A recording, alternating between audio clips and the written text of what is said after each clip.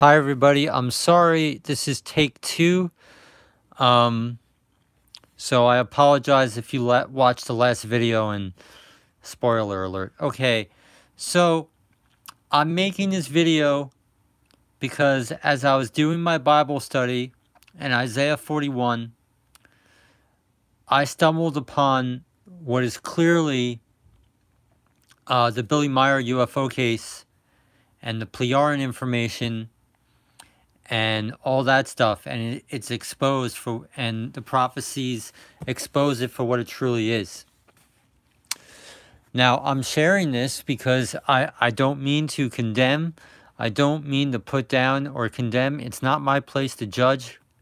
You know we are still in the flesh and as jesus said um judge not lest you be judged. But in the same respect um, I drank, as many know who have been following me, I drank out of this trough and have been feeding my brethren this information from the Billy Meier case for quite some time. And um and I and I still see people not really able to cut the tie, that they're still interested in it and stuff even though I personally have repented and have decided to completely close the door and not look back. Um, now, I'm not condemning. It's not like, you know, follow me. It's not about me, okay?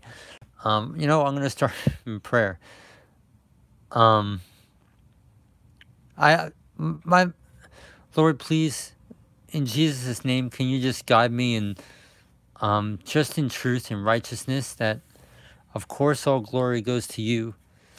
And, um, you know, if I may speak openly and completely honestly, I really don't know um, if I'm stepping over a line or um, or whatnot. I really don't know. Um, but the purpose of my heart is just to expose the truth and to benefit the body of Christ and to for, and to benefit your kingdom, Lord. So may that come forth, and may this be a um, a fruitful and constructive seed to our fellow brethren. In Jesus' name, amen. So to continue, my all, I want to say about the Billy Meier case, if people are still stuck on that information and woed into it, because you know maybe there is some right information in there, but fundamentally, the root of that tree is fallible. Okay?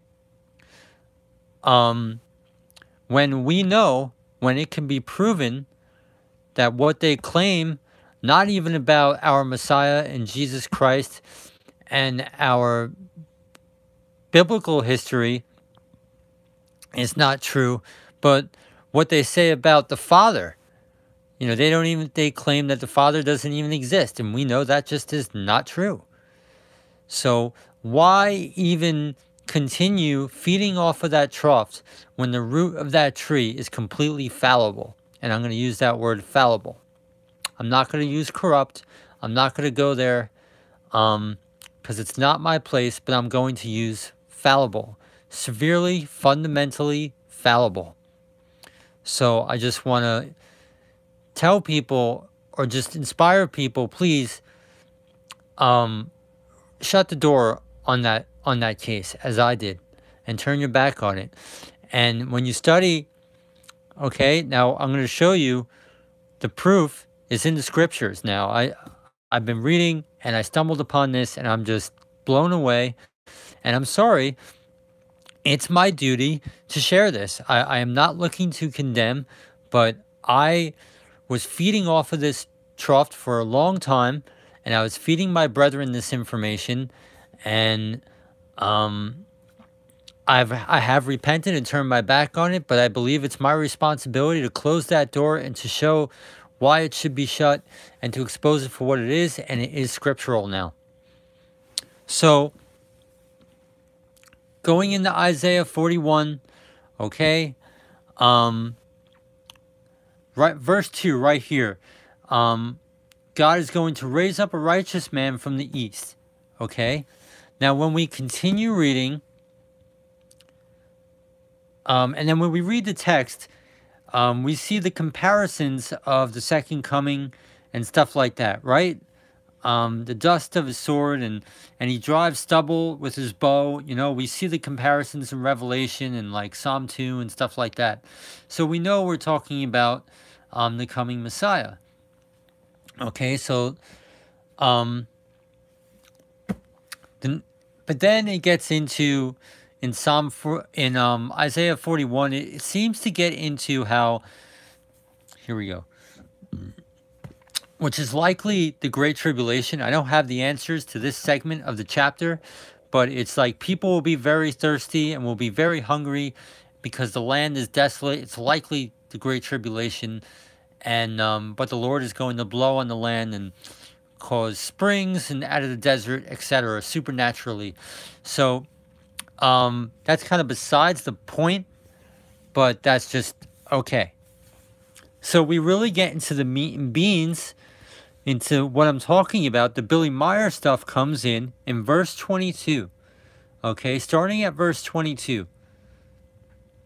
Okay, so let's look at this. And those who who have been following me and, and know the story um, will see this very clearly. And um, so I, I just hope this settles the matter once and for all because, you know, hallelujah, God bless these scriptures and it, it's it's pretty profound. Okay. And, and I'm sorry. I, I'm sorry. I, I don't mean to condemn. It's not my place to judge, but it is my place to protect our brethren and and to um, decorrupt the body of Christ and our brethren. So I'm sorry. Uh, I'm going to step out and um, and share this information. So verse 22 is where we get into the Billy Meier information. Okay, let let them bring them, a particular people. Now, this is referring to the Pleorians. Okay? Let them bring them forth and show us what will happen. Let them show the former things, what they be, that we may consider them and know the latter end of them and declare us things for to come. So that's what the Billy Meier information does. They tell us about our past and they have future prophecies about the latter end as well although they completely reject Jesus as the Messiah. They don't even acknowledge the existence of God. And um, the Bible is pretty much a sham um, and corrupted to them, generally speaking, um, and so forth. We all know. And, you know, a lot of us have, and myself, have, you know, we've all have been kind of wounded through this. But so, anyway, um, show the things that are to come hereafter that we may know that ye are gods. Okay, so we know the people we're talking about are the advanced extraterrestrials. Okay, the Pleorians, that ye are gods. You know, that we came from aliens and that the whole thing. Ye, you do good or you do evil, that we may be dismayed and behold it together. So they are they are eating and coming from the tree of knowledge of good and evil. Okay? Behold, you are nothing, and your work is naught. An abomination is he that chooseth you. So I don't know who the you is. That could be Mr. Edward Meier, but it's clearly saying the Pleorians, the source of this information is an abomination, and it's from the serpent, and it's from the tree of knowledge of good and evil. Which we, and this is a confirmation that we should not be eating out of the tree of knowledge of good and evil as well. And what does the tree of knowledge of good and evil? It's occult information. Occult does not mean bad. It could be good or evil. It means hidden and it lures people in because this information is hidden. So, wow, isn't that enticing? Isn't that interesting? Wow, this is amazing. Look how this pans out. Look at this, look at that, and it lures people in. Keep searching, and it lures people in by continuing to search. Okay? Um, so that we may be dismayed and behold it together. So that is the trap of the tree of knowledge of good and evil. Okay. Okay, so let's continue reading I have raised up one from the north, and he shall come from the rising of the sun. Shall he come upon my name, and he shall come upon princes as upon mortar, and as the potter treadeth clay. So, just like earlier in the chapter, right, verse 2, a righteous man was raised up from the east. And when we read, this is clearly a reference to the Messiah. And in 25, it's clearly this is the same person. So we could say that he's coming from the northeastern hemisphere, right? And the Messiah is going to come from the northeastern hemisphere. Now continue reading. Who has declared from the beginning that we may know? So we're still talking about the Billy Meier case here. And before time that we may say, He is righteous?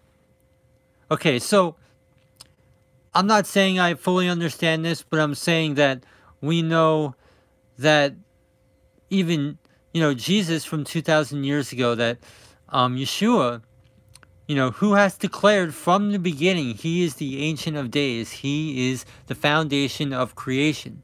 Where the Billy Meier case claims that Mr. Edward Meier is all of our prophets, even Jesus Christ himself, incarnation, yet, um, etc. Um, so I'm sorry if this is hurtful, but the these prophecies clearly state that the source of this information, I'm not condemning Mr. Edward Meier, but the source of this information, um, the Pleiadians, these gods, aliens, are the ones that are clearly being condemned as from the serpent, according to the text. And I'm sorry, I, I can confirm that. So, who hath declared from the beginning that we may know. Like, maybe it's saying that, you know, because they, well, who are you to say you're the prophet of the time, etc., this and that. And before time, that we may say, He is righteous. Ye, there is none that showeth you, there is none that declareth you, and there is none that heareth your words. So, um, you know, it clearly says that it's pretty much stating that um, the righteous man who's being raised up um, got involved in this in this information, got involved in the Billy Meier UFO case, and nobody was there to help him. Nobody, they didn't give him the time of day, despite his searching and stuff like that. Um, the first shall say, Zion, behold, behold them, and I will give to Jerusalem one that bringeth good tidings. For I beheld, and there was no man. So I'm not saying I fully understand this text, but we do know the Billy Meier information does not bring good tidings to Zion. They condemn the origins of the Jewish people as complete scum of the earth. Um, it's not an anti Semitic thing. I wrote about this, okay? It's not an anti-Semitic thing. It's just saying they came, they were a false chosen people and they chose themselves and all this stuff. Okay. Um, now I wrote about this, so and I took my book down. So, but I, I made. If you wanted to know why I was drinking it, you know, I made my compassionate case and I did my my very best to um, you know, I came with it with with a pure heart and I wrote about it in a pure heart and with a compassionate, loving heart. And with, that was not in condemnation. But, um, behold, so we're saying, For I beheld, and there was no man. So, even among them, and there was no counselor that when I asked of them could answer a word. So even though this raised up man was mixed in with this information, they weren't helping him. They did not help him.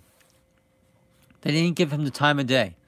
They didn't lift a finger to help him out, despite how much he bled over the material.